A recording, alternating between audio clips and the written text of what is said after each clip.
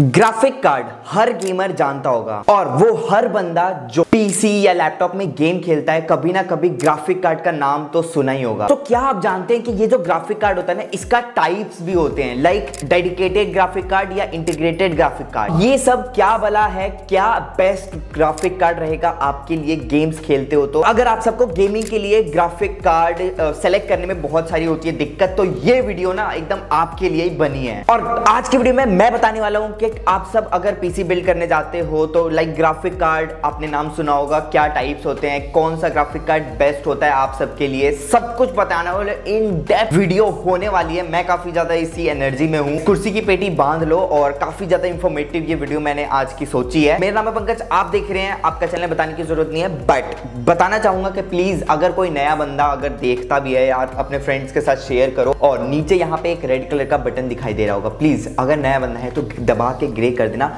मैं ऐसे यूजफुल और टेक वीडियोस लाते रहता हूँ। तो गाइस मैं काफ़ी ज़्यादा एनर्जी में हूँ और अब ना ज़्यादा बात करते हुए इसी पावर एनर्जी के साथ वीडियो को करते हैं स्टार्ट सो गाइस सबसे पहले यहाँ पे वीडियो में आगे बढ़ूं, सबसे पहले मैं बेसिक इंफॉर्मेशन से स्टार्ट करना चाहूँगा लाइक ग्राफिक कार्ड एक्चुअली में क्या होता है। तो देखो, अगर मैं खाली ग्राफिक कार्ड की बात करूँ तो ये एक हार्डवेयर कंपोनेंट होता है जो कि आप सबके एक मदरबोर्ड में ये इंस्टॉल होता है जाके। तो अगर आप सब मेरे से पूछना चाहोगे कि इसको लगाने से एक्चुअली क्या होता है तो देखो, इसको लगाने के बाद आपके सिस्टम की जो डिस्प्ले है, वो कन्वर्ट हो जाती है हाई डेफिनेशन में। और अगर मैं आसान भाषा में कहूँ तो ये मदद करता है आपके सिस्टम को और ज़्यादा पावरफुल बनाने की और कैपेसिटी देने की कि वो काफ़ी हार्ड वर्क और पावरफुल चीज़ें कर सके। लाइक like, एग्ज़ाम्पल के थ्रू समझाना चाहूँगा देखो अगर आप सब एक ग्राफिक कार्ड लगाते हो तो आप सब ग्राफिक कार्ड की मदद से ट्रिपल टाइटल वाली गेम्स जो बड़ी बड़ी गेम्स होती हैं उसको खेल सकते हो। और ग्राफिक वर्क्स अगर आप सब थोड़ा बहुत भी करते हो तो उसके लिए आप सबको एक ग्राफिक कार्ड की ज़रूरत बहुत ज़्यादा होती है। और देखो अगर आप सब कुछ भी कर रहे हो एक ग्राफिक इंटेंसिव वर्क कर रहे हो तो आप सबको ग्राफिक कार्ड लेना बहुत ज़्यादा नेसेसरी हो जाता है। समझ में भी आ गया हो गया है ग्राफिक कार्ड एक्चुअली में क्या करता है, क्या होता है। अब देखो, सबसे पहले मैं यहाँ पे जल्दी से बताना चाहूँगा ग्राफिक कार्ड के ना मेनली दो टाइप्स होते हैं। एक टाइप होता है, वो है डेडिकेटेड ग्राफिक और एक होता है इंटीग्रेटेड ग्राफिक अब देखो, बीच में अब जो इन दोनों का डिफरेंस मैं जल्दी से समझा दूँ तो यार डिफरेंस बहुत आसान सिंपल सा है। देखो डेडिकेटेड ग्राफिक आप नाम से समझ रहे हो डेडिकेटेड मतलब यहाँ पे एक एक्सटर्नल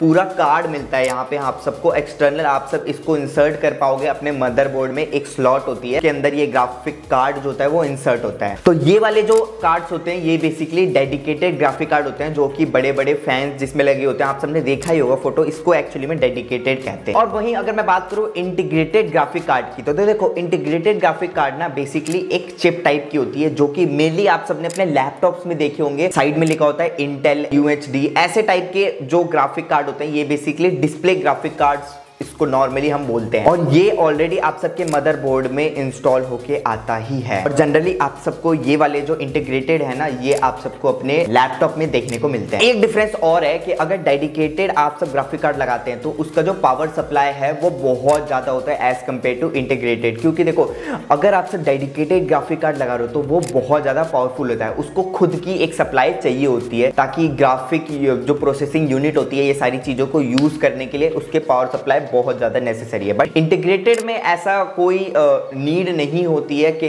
अलग से इसके लिए पावर सप्लाई चाहिए ही। उसमें आप सबको वो एक बेसिकली डिस्प्ले ग्राफिक कार्ड होता है। देखो, वही सवाल आता है, एक क्वेश्चन आ रहा होगा कि पंकज भाई, कौन सा ग्राफिक कार्ड यहाँ पे पावरफुल होता है? तो ऑब्वियसली अगर मैं आप बातों से ही आप सबको समझ में भी आ रहा होगा डेडिकेटेड ग्राफिक कार्ड जो है ना, वो काफ़ी ज़्यादा हैवी और पावरफुल होता है। क्योंकि यार, देखो, आप सबका काम ना, एक डेडिकेटेड चीज़ के लिए अगर आप सब वो चीज़ खरीद रहे हो तो ऑफकोर्स सी बात है वो काम डेडिकेटेड मतलब खाली उसके लिए ही ये यूज़ होगा। तो ग्राफिक कार्ड अगर डेडिकेटेड ले रहे हो तो आप सबका जो है वो काफ़ी ज़्यादा पावरफुल बन जाएगा। देखो मार्केट में आप सब कंफ्यूज हो रहे होंगे कि डेडिकेटेड ग्राफिक कार्ड कैसे होते हैं। देखो, ये सीरीज़ में ना R T X G T X sixteen fifty ten fifty T I ऐसे नंबर्स में लिखे होते हैं और ये बेसिकली डेडिकेटेड होते हैं। और वहीं इंटीग्रेटेड ग्राफिक्स की बात करूँ तो ये मेनली आप सबको देखा होगा, आपके लैपटॉप में छोटा सा इंटेल यूएचडी लिखा होता है या ए एम डी रेडियन लिखा होगा। होगा या वेगा ग्राफिक्स लिखा होगा। ऐसे टाइप के ये जो होते हैं, ये डिस्प्ले ग्राफिक कार्ड्स में आते हैं और मेनली आप सबको लैपटॉप में ही देखने को मिलते हैं ऑल दो पीसी में भी आते हैं। तो आई होप आप सब इन दोनों के बीच में डिफरेंस समझ गए होंगे। अब देखो, एक सवाल आता है कि डेडिकेटेड अगर ले रहे हो तो क्या यूजेस होंगे डेडिकेटेड के और इंटीग्रेटेड के क्या यूजेस होंगे? तो सिंपली बताऊँ, देखो डेडिकेटेड अगर आप सब ग्राफिक कार्ड ले रहे हो तो आप सब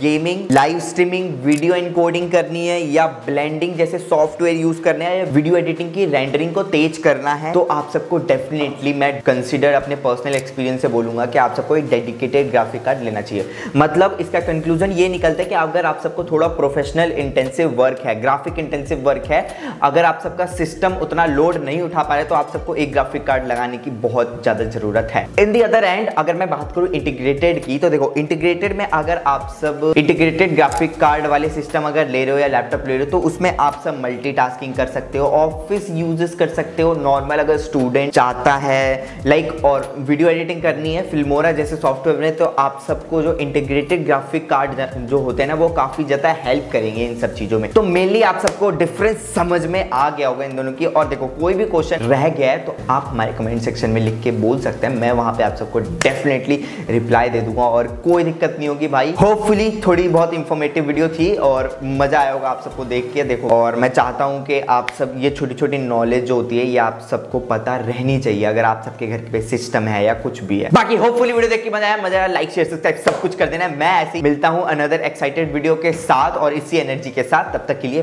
बाय